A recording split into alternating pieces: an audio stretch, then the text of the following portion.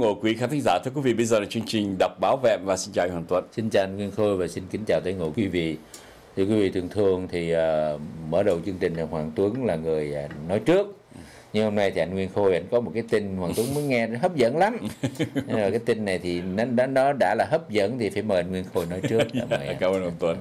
Vâng thưa quý vị, báo uh, VN Express có đăng tin là vườn thú Trung Quốc bị nghi để người đóng giả gấu. một sở thú Hàng Châu bị nghi ngờ để người đóng giả gấu chó vì các động tác của con vật rất giống người. Video được chia sẻ rộng rãi trên mạng xã hội tuần trước cho thấy một con gấu chó ở sở thú thành phố Hàng Châu, tỉnh Chiết Giang đứng bằng hai chân sau trên vách đá ừ. và giao tiếp với du khách bằng cách vẫy hai chân trước. Ui người đăng video tin rằng con gấu này thực tế là do người hóa trang.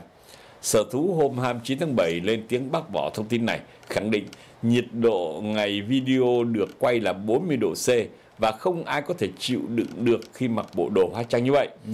Dù vậy nhiều người vẫn tin rằng con gấu này thực sự do người hóa trang. Họ chỉ ra các chuyển động giống con người khi nó đứng vẫy chân cũng như những nếp gấp giống quần áo quanh lưng nó khi đứng tư thế đứng của nó còn thẳng hơn con người nữa một người bình luận. Chúng tôi thấy tin này rất là vui và ông anh hoàng tuấn mình áp dụng ở đất nước mình có cần phải hóa trang đôi khi xong à, trước khi trả lời anh thì tôi có ý kiến như thế này. Đối với ở nước khác đó à. thì người ta còn nói ô cái này chứ là chắc là cái cái người quay video nhiều khi cũng làm cho nó suy nghĩ nhiều quá. câu like nữa à. nhưng mà đối với mấy cái nước cộng sản như là trung cộng hay là Bắc Hàn, Bắc Hàn. Hay là như là cái ông uh, ăn mày Bắc Triều Tiên á, thì tôi nghĩ chuyện này nó có thể xảy ra bởi yeah. vì dưới sự lãnh đạo tài tình của đảng cái gì cũng có thể làm cái gì cũng có thể xảy ra. Cái, mà cái chuyện quý vị ở bên Trung Cộng đó làm giả là cái chuyện bình thường. À. làm hàng thiệt mới là mới là cái mới chuyện, là chuyện bất thường. bất thường. Cái gì nó cũng giả được cái gì nó cũng giả được. Cho nên tôi nghĩ cái chuyện này nó cũng nhưng mà đối với dưới sự lãnh đạo của chế độ cộng sản như bây giờ của tập cận bình là đàn em như là cộng đảng cộng sản việt nam thì con người không cần phải giả thú nè sao vậy à, dưới sự lãnh đạo của đảng và nhà nước có nhiều khi con người tự nhiên nó cũng thành con thú thôi wow vị nó nói một cái đau xót đấy nha là ngày xưa có những người sống những người mà trong thời kỳ mà cải cách ruộng đất yeah. là trong thời kỳ chiến tranh mà à, có những người sống ở trên núi đây yeah. nó có những người bị cộng sản bắt giam ừ. chúng tôi có, đã có những người ở trên núi về nó cho biết rằng là tôi có một người quen ở trên núi về nó là bà đã chứng kiến người ta bắt giam những người mà gọi là địa chủ đó anh ừ. là thành phần ác ôn đó và chính bà là người chứng kiến nha mà bà bà là người là có công với cách mạng đó ừ. chính bà kể riêng dĩ nhiên bà không dám nói ra ngoài bà nói là có một người bị nhốt trong đó và khi con gà nó chạy ngang đó anh yeah. Dạ. thì có một bàn tay chụp con gà ừ. và kéo vào trong ừ. và nghe tiếng con gà nó la ừ tức con gà nó bị ăn sống yeah. Dạ. tức là đói quá người ta đói quá người ta giam mà người ta để cho con người đó xin lỗi quý vị nó trở thành giống như giống như một một con thú à, chứ không phải là cái người đó tự động người ta biến thành con thú ừ. cho nên đối với chế độ cộng sản nó là như vậy cái thứ hai nữa là khi mà quý vị nó bóp chặt cái bao tử người ta nó làm cho người ta đói khổ là trong một hình thức thì nhiều khi con người ta vì cái đói đó ừ. người ta mới trở thành như vậy cho nên đối với chế độ cộng sản mà muốn biến con người thành con thú thì không cần phải giả anh nhớ ông ông Nguyễn Chí Thiện ông bảo rằng là từ người mà Thành từ vượng, vượng mà đến Thành người ấy thì à. nó bao nhiêu triệu năm ha yeah. Dạ. nhưng mà đảng cộng sản việt nam đảng cộng sản việt nam hay là đảng cộng sản của của trung cộng trung quốc thì ờ, chúng nó chỉ Biến cần con người thành vượng vượng nó rất là nhanh ừ. rất là nhanh cho nên cái chuyện này thì nó cũng không có rồi nói về cái chuyện giả đó là ờ, đàn anh ờ, đàn anh không giờ đến đàn yeah. Dạ. em nè yeah. Báo số 2 vn thủ đoạn làm 1.213 ngôi mộ giả để trục lợi hàng tỷ đồng của 71 bị cáo tức là trong 1.213 ngôi mộ này thì có 71 người liên quan đến đó các đối tượng trong đó có cán bộ công an, lãnh đạo xã đã móc nối với nhau để làm 1.213 ngôi mộ giả ừ. tại khu vực dự án trục lợi trên 2 tỷ 2. Ngày 25 tháng 7 thì Tòa án Nhân dân tỉnh Thừa Thiên Huế đã mở phiên tòa xét xử sơ thẩm 71 bị cáo trong vụ án kê khống mộ giả để trục lợi tại phường Hương Sơ, thành phố Huế, Thừa Thiên Huế với ba tội danh gồm lừa đảo chiếm đoạt tài sản, thiếu trách nhiệm gây hậu quả nghiêm trọng và lợi dụng chức vụ quyền hạn trong thi hành công vụ. Thì những cái câu này nó cứ lặp đi lặp lại. Uh-huh. nhưng cái điểm chính là như thế này thưa quý vị mộ, mộ trong quá khứ là chúng ta đã có chúng tôi không nhớ là năm nào đã có những ngôi mộ liệt sĩ giả. Xương giả. À, xương giả tức là xin lỗi quý vị nó khốn nạn tới cái mức là mộ liệt sĩ của cộng sản đó nha. Mà nó bỏ xương chó xương mèo xương heo xuống. Rồi nó đi mua những uh, như là nón hay là những cái uh, bình nước mới, mới làm sau này. Ừ. rồi nó bỏ nó chôn xuống dưới đó nó bảo đó là mộ liệt sĩ để nó ăn tiền. Thì thưa quý vị đối với tôi không biết là dưới sự lãnh đạo của đảng và nhà nước dạy dỗ như thế nào mà cán bộ đảng viên cái gì nó cũng ăn được. Mà đến nỗi mộ mà nó cũng giả luôn để nó ăn thì chúng tôi không không hiểu. Bây giờ thì à, thì, thì, thì, thì, thì à, mà đâu có ít anh. Nó tới là 1213 ngôi mộ giả. À, nên thì anh nghĩ cái gì nó không làm giả được. Tôi chịu thua và thưa quý vị, đó là chuyện giả. Còn bây giờ cái chuyện rất là thật, một cái tệ trạng đang xảy ra tại Việt Nam và trong những ngày qua báo chí cũng nói nhiều. Ừ. Là cái vụ mà sạt lở đất, rồi đứt, à. đất bị nứt, vân vân và vân vân. Thì dĩ nhiên có nhiều nguyên nhân khác nhau nhưng mà người ta tự chung thì người ta nói rằng cái nguyên nhân chính là tại con người có thể thiên nhiên động đất này kia nó cũng xảy ra những nơi nơi, nơi này nơi kia nhưng mà chuyện này nó xảy ra ở Việt Nam rất là hiếm tác động của con người nhưng mà tác động con người rừng bây giờ rừng thì họ phá hết rồi và anh cũng biết một điều là rừng nhờ cây nó có rễ nó bám vào đất cho đó nó làm cho cái đất nó rất là vững rất là chắc. Những cái nạn mà đất chuồi hay là đất bị nứt bị à, sạt lở đồi núi đó nó không có xảy ra thường. Nó cũng xảy ra ở nơi này nơi kia ngay cả mỹ nó cũng xảy ra nhưng mà nó rất là hiếm. Và uh, nó cũng chỉ là một gọi là uh, cái chuyện nó bất ngờ nó xảy ra thôi. Nhưng mà ở Việt Nam thì nó xảy ra và cái cái vấn đề là người ta nhìn thấy là nó xảy ra ngày hôm nay và nó còn tiếp tục xảy ra tại vì giờ rừng mất hết rồi tác động của con người kinh hoàng quá à, báo VN Express họ đăng trong cái uh, chương trình mà video của họ ừ, họ đưa một cái video bị sạt lở đất ở bên Lâm Đồng rất là dữ dội chết người luôn dạ vâng. Dạ. mưa lũ ngày càng cực đoan cùng tác động của con người và thiên nhiên khiến nhiều vùng đồi núi như ở Lâm Đồng bị phá vỡ cấu trúc gây nên trượt lở và cuốn phăng cây cối, nhà cửa vân vân. Rất là phải nói là nó gây ra những cái cảnh mà ờ, rất là hoang tàn. Rồi bên cạnh đó có một cái tin khác, nhà lún tường nứt toác ở gần công trình hồ thủy lợi. Anh xây dựng anh đào hồ thủy lợi cái chuyện nó tốt anh là ba điện nhưng mà anh anh phải có kế hoạch đàng hoàng và anh phải đề phòng những cái chuyện gì nó có thể xảy ra liên quan tới vấn đề mình đào hồ như vậy nó ảnh hưởng đến cái, cái hệ thống sinh thái ở chung quanh như thế nào ảnh hưởng tới đời sống của người dân như thế nào hình như bây giờ họ không khe cái chuyện đó họ không có, không có quan tâm đến cái chuyện đó. Anh nào lo cái việc của anh đó thôi. Họ lo họ đào đất họ cứ đào thôi. Còn cái chuyện nó có thiệt hại cho người dân này về tương lai như thế nào của đất nước như thế nào họ không quan tâm chuyện đó không có kế hoạch cái đó để chúng ta thấy được cái trình độ cái khả năng và cái cái cái cái tâm và cái tầm theo cách nói của trong nước bây giờ đó về quản lý đất nước. Và ở trên Facebook có nhiều người nói đùa mà nó cũng chua cay lắm. Là cái này nó liên quan tới lịch sử bởi vì ngày xưa thủy thủy tinh đó yeah. thua sơn tinh ừ. thì trả thù bây giờ vẫn còn. Cho nên thủy tinh mới bày ra thủy điện. Bởi vì sơn, sơn, sơn tinh là núi rừng đúng không? Đúng rồi. À, bây giờ thủy tinh đó là thù. Tức quá. Dẫn tới bây giờ cho nên thủy tinh nó mới đẻ ra cái thủy điện. Chỉ cái thủy điện nó mới phá rừng anh. Cho nên sơn tinh giờ cũng thua luôn. Ừ. à, à, thưa quý vị trong khi rừng á, thì phá vô tội vạ à, là là làm thủy điện thì không biết là điện mà vẫn tăng giá. À, cứ cứ làm điện mà điện vẫn vẫn tăng giá bởi bị cướp điện. À, để nổi xảy ra những tình trạng như thế. Rồi bây giờ ông phó thủ tướng nha. À, quý vị có tin được hay không thì tùy quý vị nha. Ông phó thủ tướng trần hồng hà ông nói trong à, ông khi làm việc với bộ xây dựng ngày 31 tháng 7 đó thì ông lưu ý là dự thảo luật nhà ở cần có tầm nhìn về xu thế à, đồng thời nhà ở nhà ở trong tương lai cần phù hợp với hệ thống hạ tầng hiện đại dùng năng lượng mới tái tạo. Xu thế gì? Cần có rừng trong đô thị. Ồ, quý vị nghe ghê chưa? Tức là xu thế nhà ở tương lai cần mang thông điệp môi trường. Trong nhà có vườn trong đô thị có rừng trong rừng có thành phố. Theo phó thủ tướng là như thế. Thưa quý vị rừng mình có mình không giữ mình phá nát. Bây giờ mình bảo là phải có rừng ở trong đô thị. Thì thưa quý vị chúng tôi thấy là cán bộ cũng có thể thực, đã thực hiện được một phần thay vì có rừng trong đô thị. Thì họ mang rừng về họ mang rừng về nhà của họ thì đem mang gỗ về. Thì đó mang rừng đấy, về nhà của họ. mấy cái biệt phủ vì toàn là gỗ quý không? À, là tức là xây biệt phủ xong rồi trong đó trong nhà là bàn ghế tủ giường. Ừ. là toàn thứ gỗ quý đó. ý tưởng xây dựng mô hình đô thị nén trong nhà có vườn cây trong thành phố có rừng. Cũng được ông Hà nêu lên hồi tháng 6 khi góp ý về điều chỉnh quy hoạch chung thủ đô Hà Nội đến năm 2045 tầm nhìn đến 2065 ai tin thì chuyện của người của người đó. Chúng tôi thì dứt khoát, dứt dứt khoát là không tin được. Bởi vì thưa quý vị, rừng có sẵn, mà nó phá banh, nó phá nát hết, hủy hoại môi trường, phá một cách vô tội vạ. Mà bây giờ cũng bảo rằng là ừ, ừ, ừ, rừng trong đô thị. Và bảo cái này là khái niệm đô thị nén được đưa ra từ năm 1973 và phổ biến tại châu Âu Bắc Mỹ tại sao nó không có ở các nước xã hội chủ nghĩa ha? Đô thị nén là mô hình đô thị tập trung được xây dựng với mật độ cao có chức năng sử dụng đất hỗn hợp.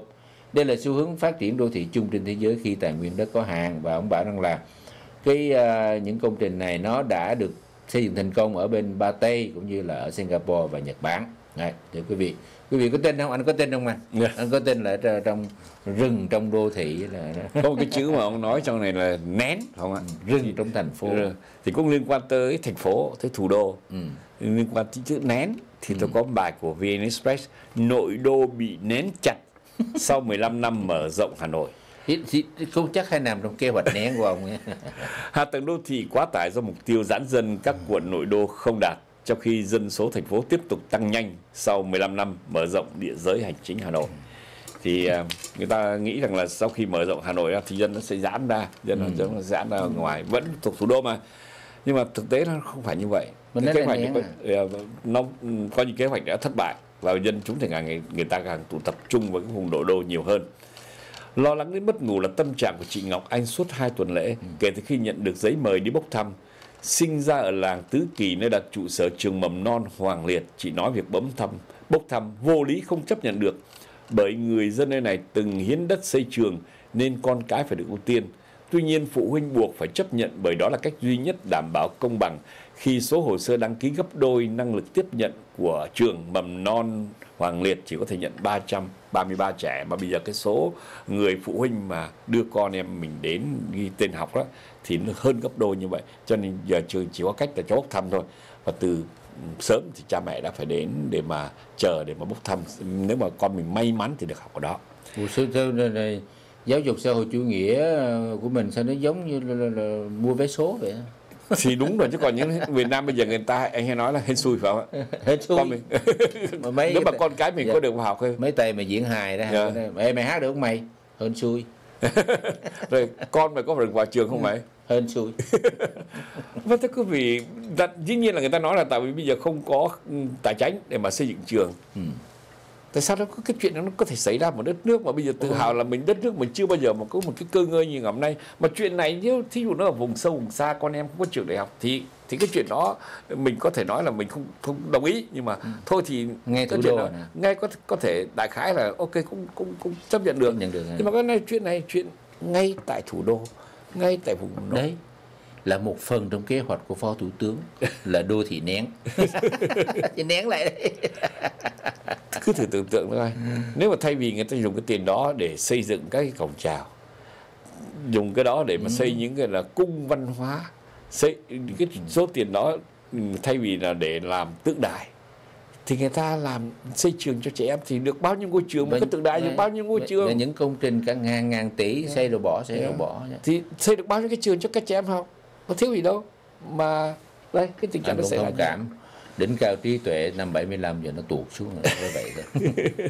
Chúng tôi sẽ trở lại phần 2 của chương trình để chúng ta thấy được những cái công trình thế kỷ của nhà nước Việt Nam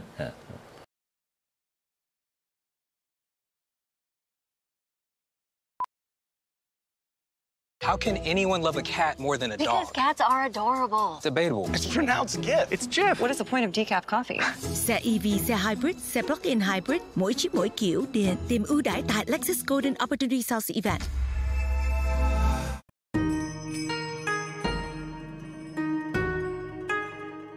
Keiko Fukuden là sản phẩm duy nhất của Nhật Bản kết hợp fucoden tinh khiết hàm lượng cao nhất chiết xuất từ các loại rong nâu của vùng biển Okinawa với nấm agaricus và đông trùng hạ thảo quý hiếm.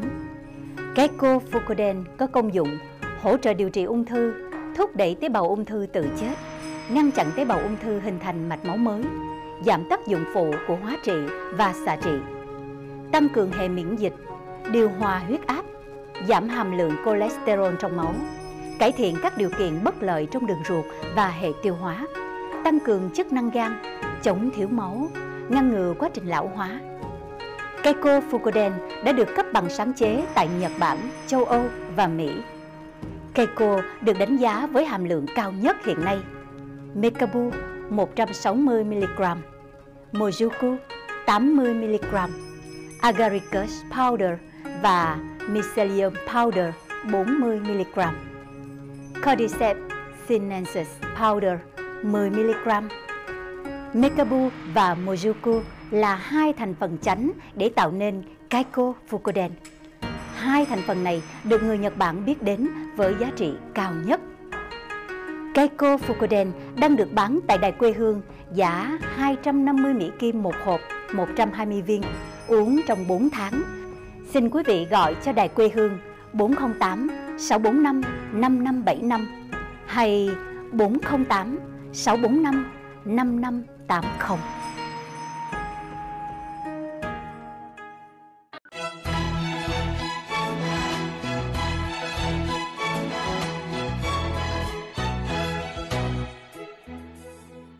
Thưa quý vị trở lại phần 2 của chương trình thì uh, chúng tôi đọc báo có nhiều người uống cà phê đó anh, nhiều Dạ. nói ủa sao Việt Nam mình bây giờ mà sao cao nguyên mà nó cũng ngập là sao?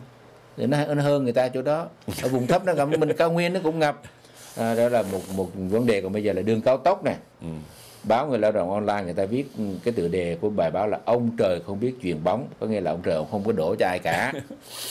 Nói một cách vừa trào phúng vừa cay đắng, xuồng cao tốc mới là phương tiện hữu hiệu trên đường cao tốc. Báo người lao động online phải chúng tôi nói nha. Tròn 3 tháng sau khi khánh thành, cao tốc Phan Thiết dầu dây chào hàng thời sự bằng một sự cố chưa từng có trong tưởng tượng.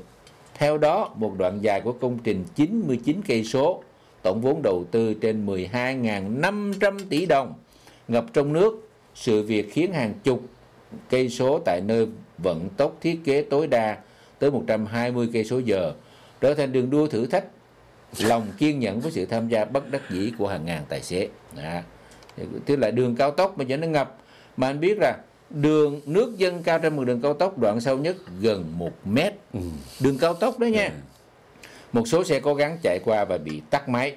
Nói một cách vừa trào phúng vừa cay đắng thời điểm ấy xuồng cao tốc mới chính là phương tiện hữu hiệu trên cao tốc. Là cái này lý do tại sao nó xảy ra tình trạng cầu thì bây giờ là người ta nói qua nói lại người ta đổ là tại vì mưa và Việt tại Nam thì vì chưa- chưa tại vì nước sông nó dâng lên À. và cống nó nhỏ quá không thoát được À. thì à, chúng tôi không hiểu là khi làm những cái công trình như thế Ừ. ta phải nghiên cứu trước phải có kế hoạch tất cả các thứ và bây giờ báo người ta đang báo đang rõ ràng như việc thủy tinh đánh chiếm cao tốc Phan Thiết dầu dây là trách nhiệm trong triển khai dự án dứt khoát không thể đổ lỗi cho thời tiết cho ông trời Ừ.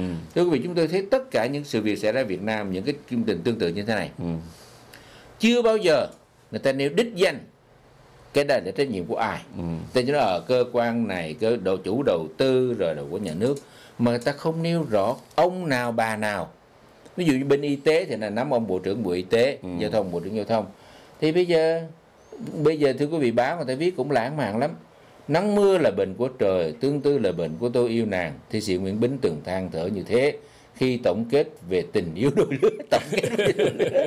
tuy nhiên khi chuyện mưa nắng liên quan tới các thông số khoa học kỹ thuật chắc chắn nó đã được tính toán kỹ càng. Để quý vị cao tốc chạy mới sẽ có- 120 cây số mới cái có ba tháng. mới khách cũng có 3 tháng thôi. Mà bây giờ nước nó ngập tới một một mét nữa nha. Ừ. đó. thế thì thế thì bây giờ phải có xuồng. À, và xin lỗi tôi có một đoạn nữa là nếu không có bước đầu tiên thì chẳng thể kết luận cuối cùng sự lớt phớt thiếu trách nhiệm không chuyên môn thậm chí là mang gian dối đục khoét vật liệu thi công. Dù Wow. không muốn tưởng tượng nhưng vẫn có thể xảy ra. Các ví dụ nhẹ thì bản quảng cáo bay nặng thì công trình hư hỏng vì thiếu cốt thép.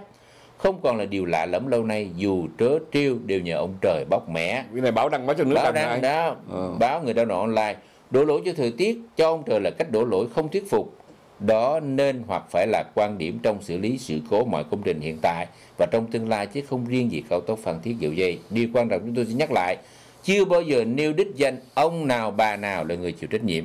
Thưa, thưa quý vị như vậy thì làm sao mà xây dựng đất nước được?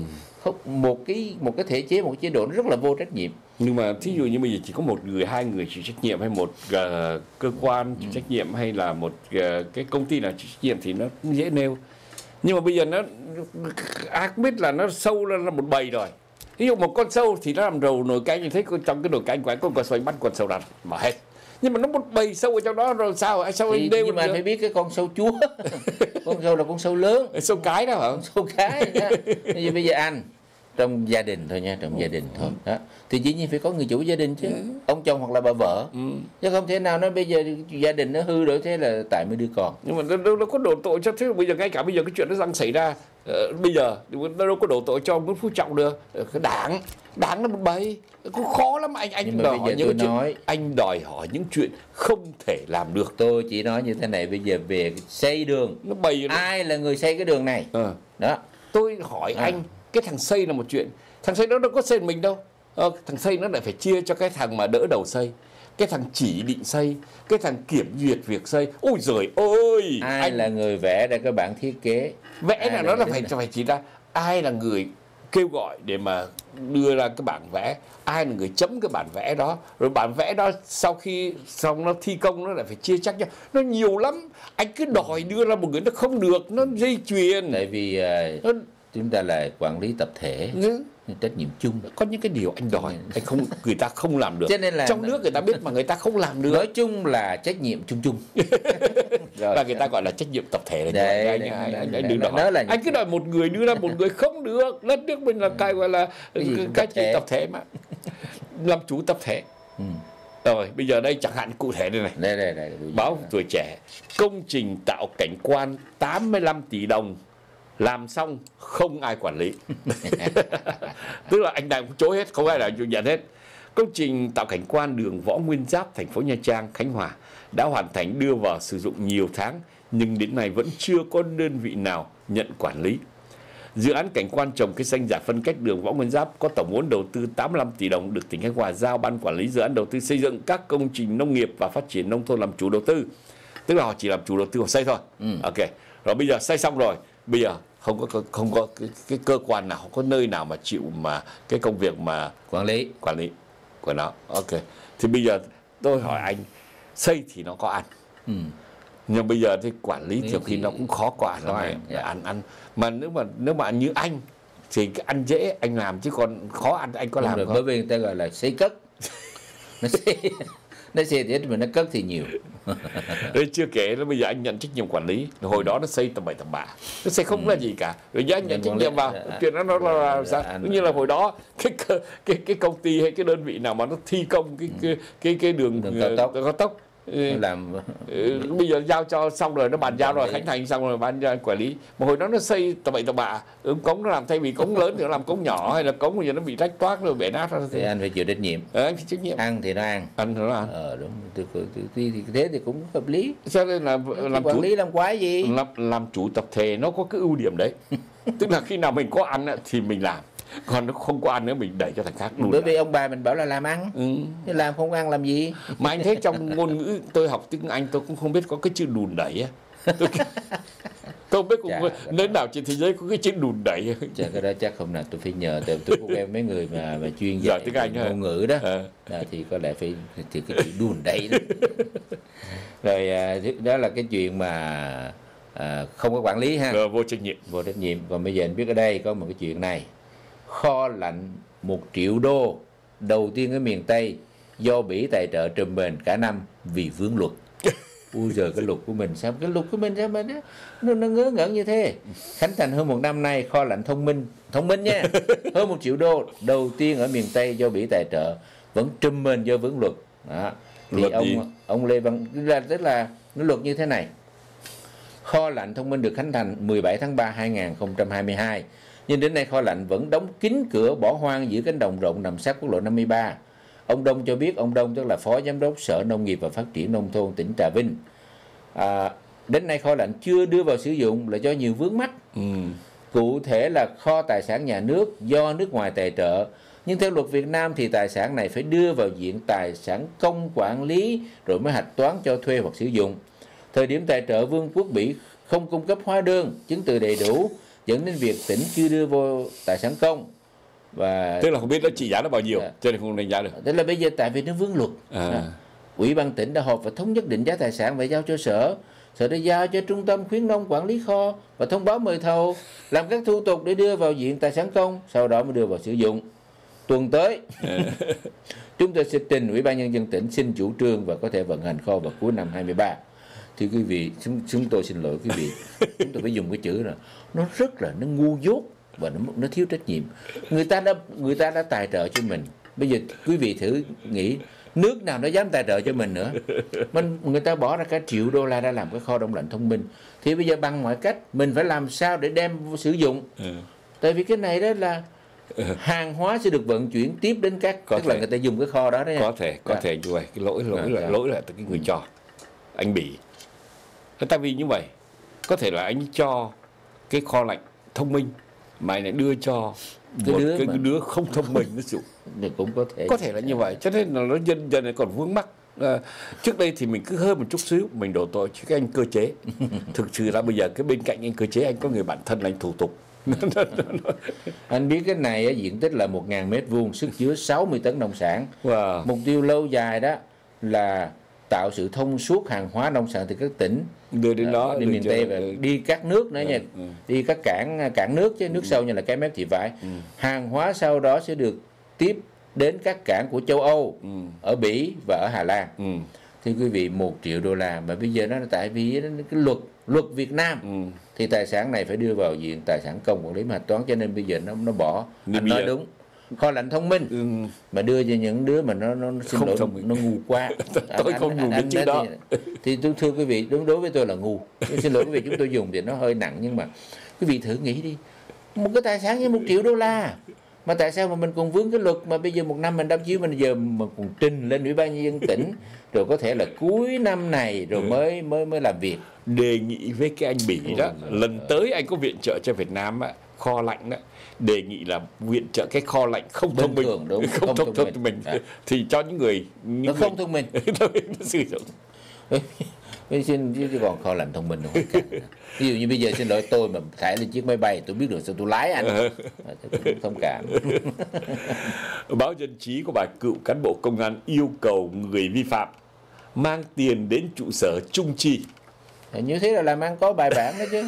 Chứ còn không đi cửa sau cửa trước vâng vâng vâng theo cáo buộc anh để từ từ tôi đọc theo cáo buộc 13 cán bộ công an 13 người chứ không phải một hai người nhá 13 cán bộ công an phường Phú Thọ Hòa đã yêu cầu người vi phạm mang tiền đến trụ sở công an phường Trung Chi rồi thả về không xử lý.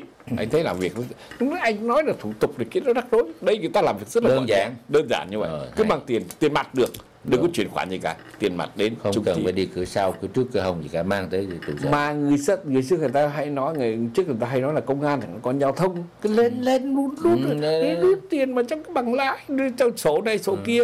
Ê, là, đến phi trường ờ, ờ, qua quan thế nhập cảnh ờ, nên là phải rút Ừ. tiền mặt và passport hộ chiếu nữa đó. Bây giờ người ta là công khai Thẳng. đưa đến thẳng đến đồn công an. Làm việc đó là bằng tiền mặt xong là giải quyết là đi về. Đấy. chẳng cần phải sổ sách đơn đơn giản hóa nó không có vương luật. Bởi vì là người ta làm luật mà. Ừ. kinh hoàng Hay, thực hay, đó. Thì Dạ, dạ. đại khái bài báo là như rồi vậy bây giờ tôi là nói chuyện thủ tướng. À và cái chuyện nó lớn lao hơn. Thủ tướng lãnh đạo chính phủ Việt khẳng định Việt Nam tiếp tục thực hiện chính sách quốc phòng 40 với đường lối đối ngoại độc lập tự chủ đa phương hóa đối với người cộng sản thì cái gì cũng ba không ba khoan ngày xưa gì ba khoan. À, cái gì chưa yêu thì khoan yêu yêu thì khoan cưới cưới thì khoan đẻ. À, thế mà nó cái đẻ xoành xoạch. Là bởi vì nó ba khoan mà. Nó khoan thế bảo là chính chính sách là ba khoan thế bảo là, là sao là ba khoan mà nó đẻ lắm thế? Thì nó một khoan là cái chịu không thấu mà nó ba khoan. Thế thì ai mà chịu cho thấu không yêu. Chưa yêu thì khoan yêu. Yêu thì khoan cưới cưới thì khoan đẻ. Thế mà chúng nó cứ, cứ khoan. Cứ tần tần nó đẻ. Xoành xoạch nó khoan tới ba lần bình thường. Thì à, bốn không là cái gì? Là không liên kết với nước này để chống nước kia không cho nước ngoài đặt căn cứ quân sự hoặc là sử dụng lãnh thổ để chống lại nước khác. Cái đây thì quan trọng là không sử dụng vũ lực hoặc đe dọa sử dụng vũ lực trong quan hệ quốc tế. Thì quý vị chúng tôi đề nghị là cái cái bốn cái không thứ tư này đó Ờ. nếu ông thủ tướng áp dụng trong nước thì nó đỡ. Không sử dụng vũ lực hoặc đe dọa sử dụng vũ lực đối với người dân trong nước thì nó đỡ nó đỡ lắm nó đỡ vô cùng. Bởi vì đây quý vị công an giao thông mà buồn buồn là nó đá người ta. Đi chống trung cộng công an nó cũng đá Đạp vô mặt đạp đạp đạp vô mặt là cái gì đó nó cũng đánh đập cả. Thì bây giờ chúng tôi xin tha thiết đề nghị thủ tướng là cái bốn không. Thầy thành năm không. Dạ. thành năm không đi. Không sử dụng vũ lực hoặc đe dọa sử dụng vũ lực trong quan hệ quốc tế thì mình đỡ Thêm một cái trong không nữa. quan hệ quốc quốc nội. Cái dân nó dân mình đỡ nè Ừ. nó có lẽ mình không đủ giờ nè Dạ. dạ. À, chúng tôi chào tạm biệt quý vị. Cảm ơn sự theo dõi của quý vị